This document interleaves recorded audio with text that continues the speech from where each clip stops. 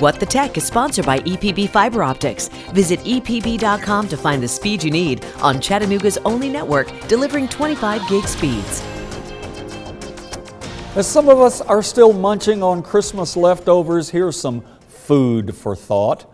Half of everybody who's gotten gift cards for Christmas are right now holding on to them. That's about $21 billion in gift cards. And the scary thing is, they might not ever use them.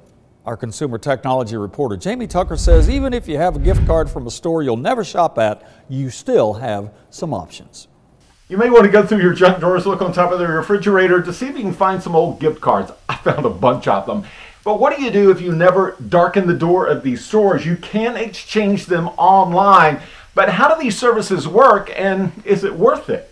Now, several websites help you sell unused gift cards. Raise and Card Cash are two of the longest operating and most popular exchanges. Visit their websites and select the store where the gift card is from and then enter the amount. Each of these gift card exchanges will show you what it will sell for.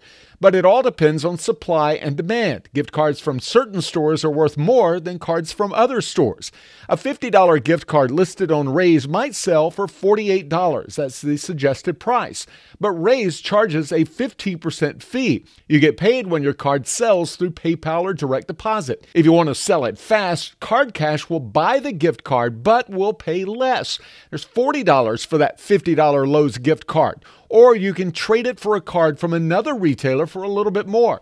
Both Card Cash and Raise have B ratings from the Better Business Bureau, but there are multiple complaints from customers of both companies. If you want to sell or exchange gift cards directly with no fees, there are gift card exchange communities on Reddit. And if you go that route, though, you'll need to give the buyer the card serial number and PIN number, which is what they need to use it before paying for it. So you will need to do some background on the buyer to avoid scams. But you probably won't be happy with the amount you get by exchanging gift cards. So, a couple of other options.